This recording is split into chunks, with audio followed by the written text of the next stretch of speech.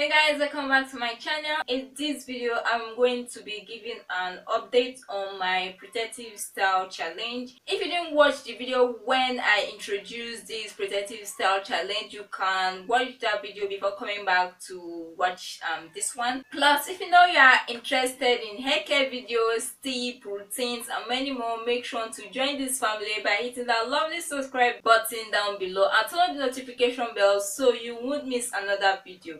And now without further ado let's get right into this video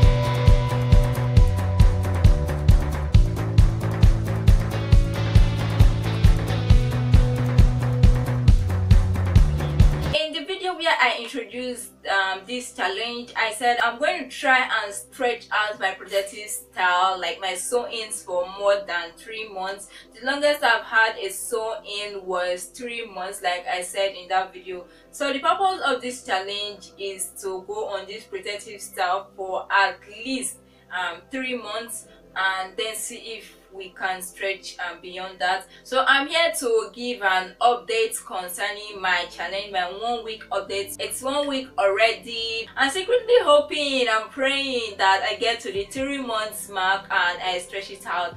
And for those of you who are following me in this challenge i would like to know below your updates where you are right now in your protective style. Make sure to leave that in the comment section down below. And if you would like to join in this protective you can start as well. It's not too late. You can start right now joining this challenge. And if you know you are joining this challenge make sure to comment that in the comment section down below so we can encourage and support each other on this journey and on this challenge. I'll be giving more updates more weekly updates monthly updates on this protective style challenge.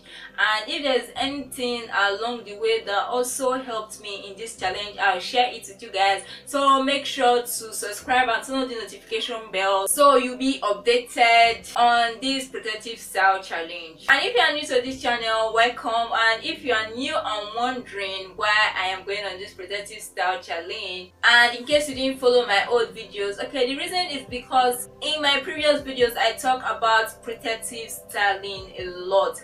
Um my main reason to growing my hair to waist length was protective styling. I have different videos where i talk about different topics on protective styling extensively so you can check those out if you are interested. I'm actually trying to stretch out my protective styles because i'm currently at waist length and you can check out my length check video if you're interested as well.